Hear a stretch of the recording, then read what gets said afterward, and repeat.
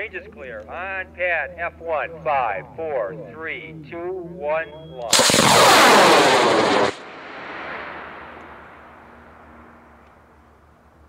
That's one thing I like about launching at this park. When that sound goes, it echoes right off the trees.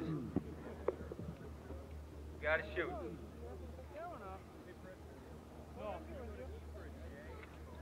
RocketsMagazine.com.